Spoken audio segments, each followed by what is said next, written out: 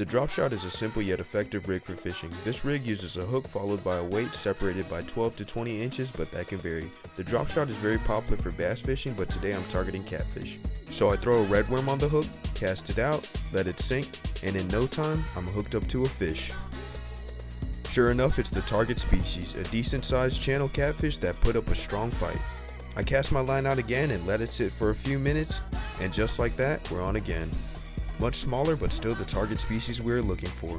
Within about 15 minutes of fishing I was able to catch two fish using the drop shot. That's why.